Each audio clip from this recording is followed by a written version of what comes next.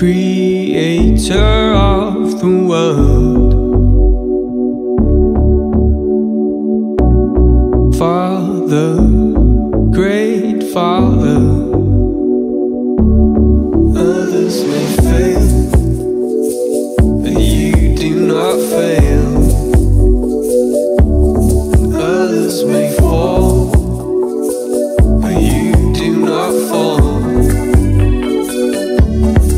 Though the sun's light grows deep